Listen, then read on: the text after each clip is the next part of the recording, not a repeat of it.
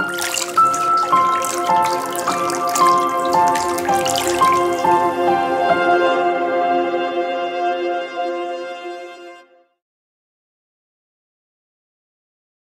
hundred years ago. This trick was adopted by a French woman to preserve her teeth. Golden wires and artificial teeth made of elephant ivory. This is what was revealed by the body of a woman who died 400 years ago.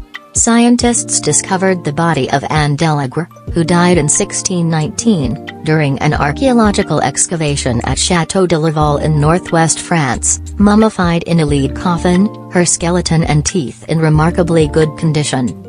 And they discovered that the French aristocracy resorted to a strange trick to preserve their teeth by using gold wires to prevent them from falling out.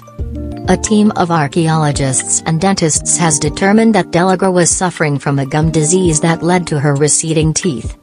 As the X-ray scan showed, gold wire was used to hold and tighten many of her teeth, d'Alègre.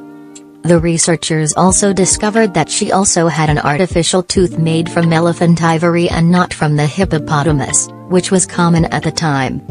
The researchers also said that the gold wires needed repeated tension over the years, which further destabilized the adjacent teeth. Thank you for watching please don't forget to like and subscribe.